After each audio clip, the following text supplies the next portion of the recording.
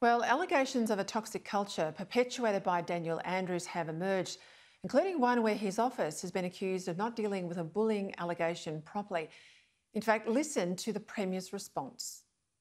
I wasn't entirely surprised, but to be honest, I'm not here to talk about that person or the events in the upper house yesterday. I'm far too busy for that. I'm not sworn in to be a commentator. I'm sworn in to get on and get things done. I tell you, that's year nine girl stuff, isn't it? That person. Hardly the way you might expect a Premier to speak about one of his own Labor colleagues.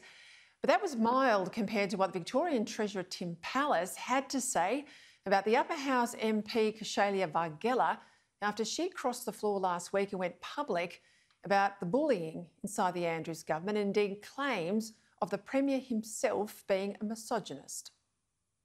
It is worrying for me that she said that, and it goes to her state of mind. And I hope, and I can assure her, should she uh, need assistance from the government in any way to help with her state of mind, we will support her in the way through this.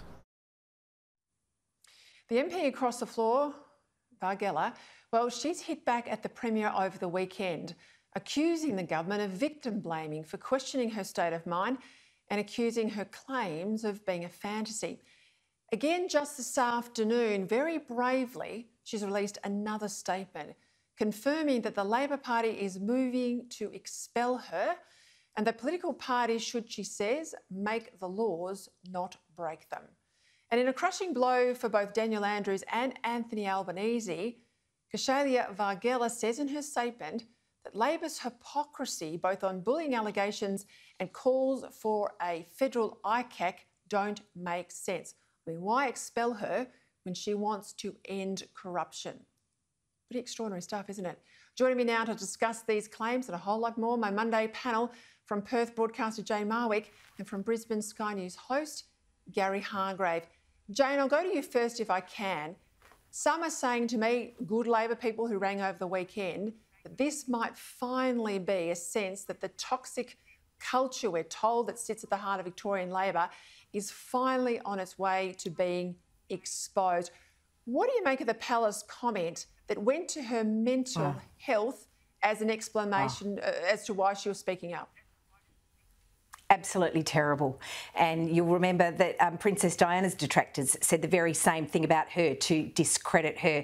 This woman is made of steely stuff, Peta, um, joining Adem Somyurek, calling for inquiry into the red shirts, um, and much more than that. And it is the lowest blow to call into question someone's mental fitness. And she says, after, I think she says something like after four years, certainly these sorts of attacks have taken their toll. However, she is incredibly strong.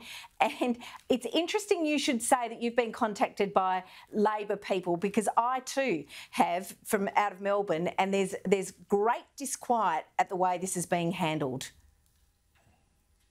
Yeah, Gary, I mean, yeah. what's interesting is the Labor Party are going to expel her because she's speaking up against corruption. And she pointedly says, Anthony Albanese, you want a federal ICAC, yet you're turning a blind eye to what I'm voting for in Victoria, which is cleaning up the Victorian Labor Party. And there's a lot of cleaning up to do there, Peta. And from afar here in Brisbane, we know that.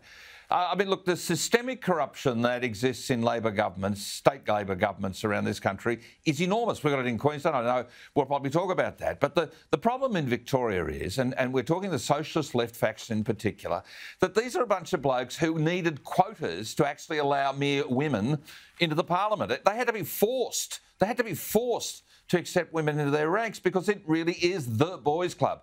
They try and point to the Liberal Party, but in fact, this is a mob of people who, unless you were related to them or having relations with them, in the past it hmm. was awfully hard, with a number of very notable exceptions, for women to actually get into the parliament. So these guys are thugs, they're bullies, and they are tough and horrible to other people in the union movement. I mean, the unions are filled with thugs, particularly the left wing unions. So, any wonder if you're going to put left wing unionists into Parliament, the Parliament's going to be filled with thugs. This is not what true old fashioned Labor Party people want. Mm. This is this is woke rubbish and blaming the victim. I think it's astonishing and I hope she goes hard.